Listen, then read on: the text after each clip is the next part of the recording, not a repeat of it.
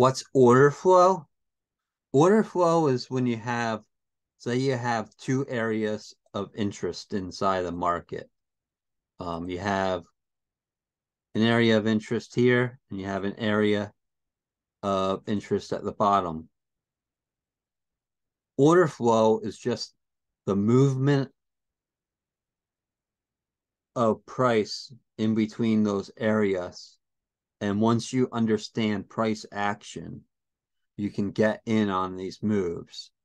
Where here was at this area of interest, dropped, pulled back, and you have this nice rejection wick and then took off again. Here pulled back again to a little area of consolidation. Pull back even more here to the same area. Rejection wicks takes off.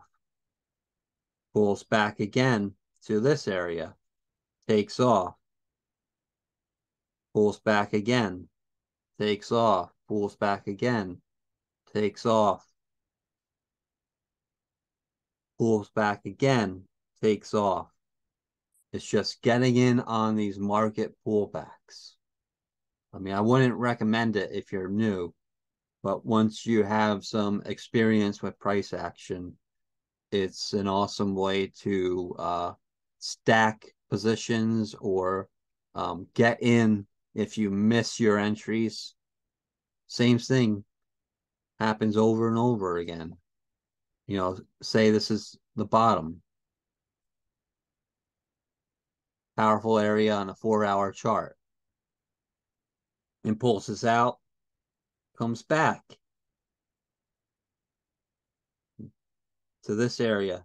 Get in here, takes off, pulls back to this area and get in here, takes off, pulls back and get in here, takes off, and just happens over and over and over again.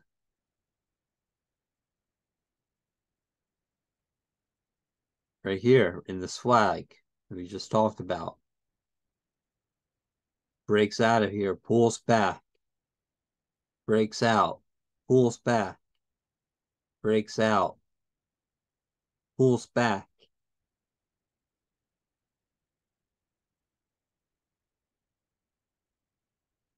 You know, same thing going down.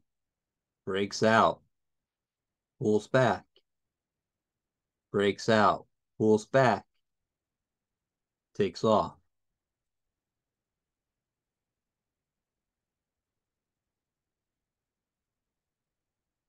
Same thing here.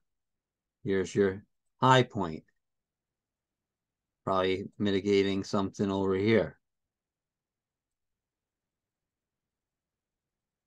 This candle right here.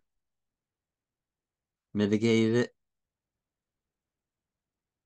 takes off, pulls back, takes off, pulls back to this area, takes off, pulls back a little bit, takes off, pulls back a little bit, takes off, pulls back, takes off, pulls back more, takes off.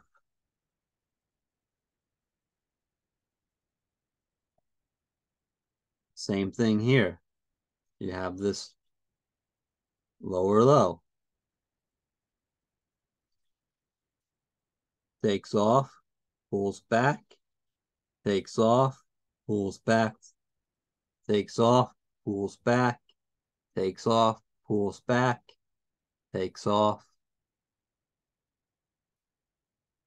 I wouldn't really count any of these. That's kind of doesn't give me nice price action, but I think you get the picture.